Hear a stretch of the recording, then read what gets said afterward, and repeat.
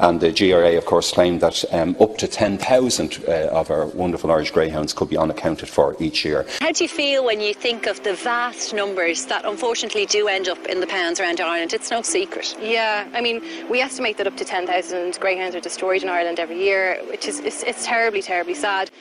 We believe that there are probably maybe eight, nine, ten thousand put to sleep. They can be killed in all sorts of fashions. You know, we've had the, so many instances of finding them shot and ears cut off and brutalised and drowned and, uh, you know, sold on into a most appalling state. Gardaí and Limerick are investigating the deaths of six greyhounds whose bodies were discovered at a disused quarry. It's believed the dogs were shot in the head. The Irish Greyhound Board, Bord na gCon, says it's working with Gardaí to bring the offenders to justice. Viewers may find some of the pictures in this report distressing. The grim discovery was made in a remote area outside the village of Ballyagran in West Limerick. Behind these padlock gates lay the dumped carcasses of six greyhounds.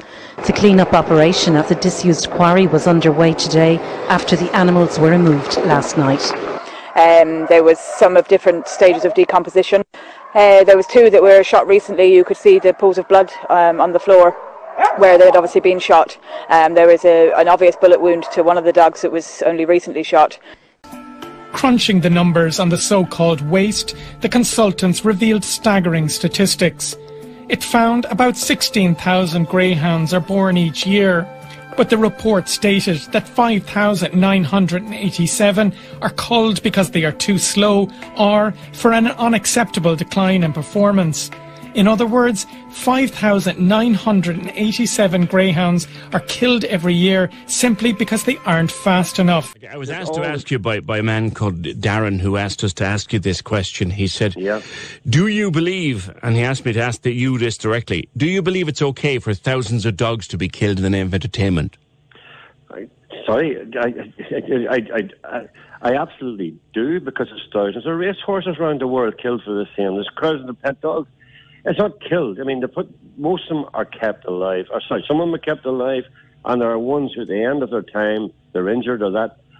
I do. I mean, you can't have a sport. You can't have camel racing. You can't have horse racing. You can't have dog racing without uh, a euthanasia problem. But it has to be done properly and correctly. Absolutely. Okay. All right, Paschal. We'll watch it with interest when it comes before the, the Public Accounts Committee. Thanks very much for that, Paschal Taggart, uh, the man who credited with building the greyhound industry and